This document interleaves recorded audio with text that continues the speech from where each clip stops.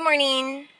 I've never made a live video in this group, uh, live stream, but I'm actually out campaigning, but for Roger Thompson in Okmulgee, Oklahoma, and I knocked on a voter's door, and I didn't know if I was going to be punched or headbutted because he got so close to me that our heads touched and he was just screaming and he could not believe that a Republican was knocking on his door and I deserve to die and my children deserve to die and I'm a murderer and it is astounding because I'm actually a former independent who voted for Obama twice who just changed I didn't change my ideological views. I woke up and I realized that I was a conservative in about 2014 and I've been campaigning for, you know, common sense conservatives ever since. And actually, the person that I'm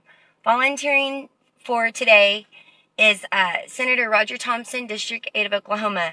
And he is one of the senators who penned and passed and pushed through the legislation that gives Oklahoma veterans, disabled veterans, their income tax free in our state.